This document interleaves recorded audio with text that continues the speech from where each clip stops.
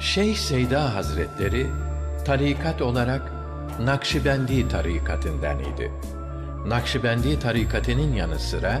Kadiri ve Rufai tarikatının derslerini de verirdi. Şeyh Seyda'nın bağlı olduğu Nakşibendi tarikatı silsilesi şöyledir. Hazreti Ebu Bekir Sıddık, Selman-ı Farisi,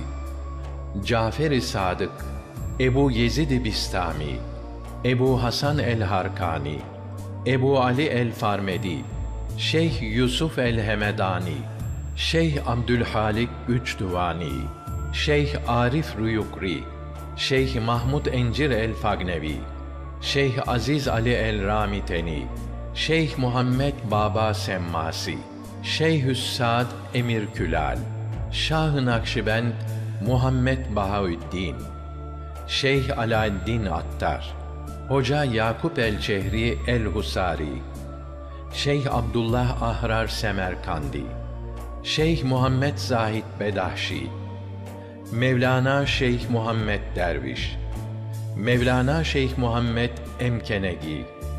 Şeyh Muhammed Baki, İmam Rabbani Şeyh Ahmet Faruki Serhendi, Şeyh Seyfettin,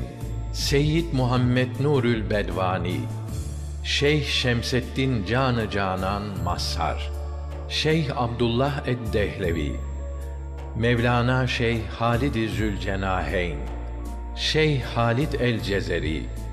Şeyh Salih Subki, Şeyh Muhammed Ayni, Şeyh Halid Zibari, Şeyh Ömer Ez-Zengani, Şeyh Abdülhakim Eddirşevi,